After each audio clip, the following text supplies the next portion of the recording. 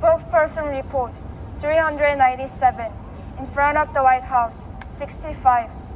The UN must lift the anti-human rights sanctions in accordance with the U.S. hostile policy against North Korea.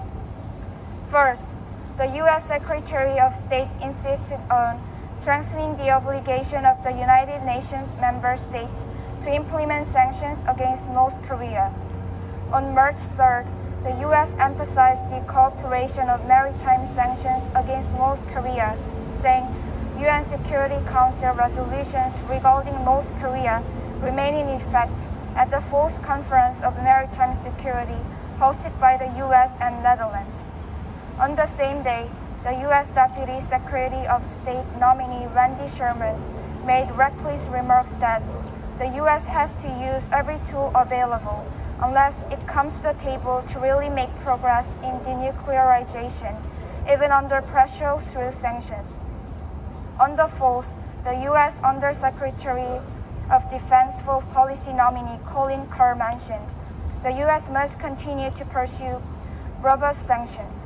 Before this, the U.S. Ambassador to the UN, Linda Thomas Greenfield, defined North Korea as a serious threat. It clearly shows where the nature of the resolution of the UN on sanctions against North Korea is. Second, since its founding, the UN has not been out of the rubber stamp function for the US.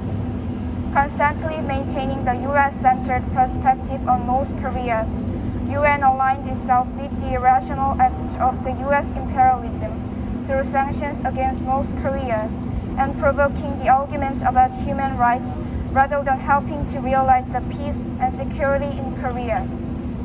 Recently, the UN Special Rapporteur on the situation of human rights in North Korea conjectured the violation of human rights and economic hardship were caused by the North Korea's countermeasures against COVID-19.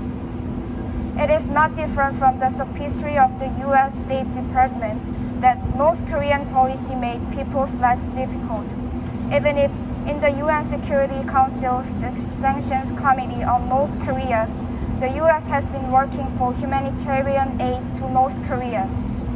Third, the UN should lift the sanctions against North Korea and abolish the resolutions on human rights, which are the plot of isolation and squeezing and the collapse of North Korea.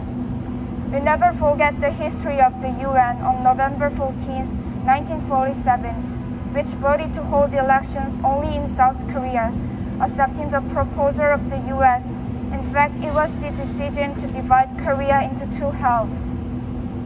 All undemocratic behavior of the U.S., which decisively distorts democracy in the UN, is against the original mission of the UN to maintain international peace and security.